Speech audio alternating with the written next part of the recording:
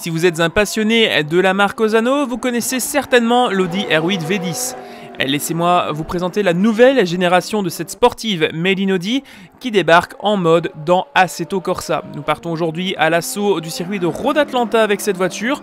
Vous pouvez retrouver ces deux éléments en lien dans la description.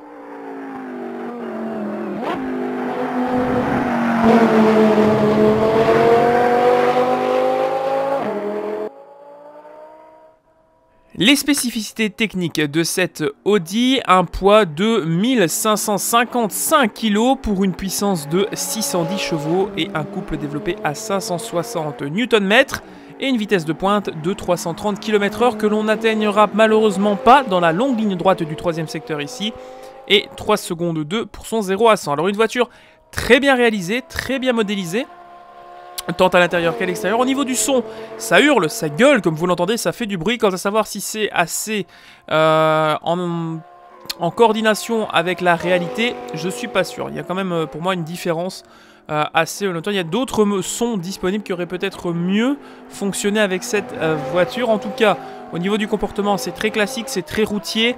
Euh, moteur à l'arrière, donc beaucoup, beaucoup de sous-virages. dans les délestages, notamment, c'est très compliqué de passer certains enchaînements ici, que ce soit en compression ou en délestage, justement, avec, avec cette Audi. Sinon, un plaisir de conduite, une très bonne routière, un très bon mode à tester si vous aimez les voitures de route. En tout cas, cette Audi moi, je vous la conseille et je vous invite surtout à monter le son et à profiter de ce son sur cette piste de Road Atlanta.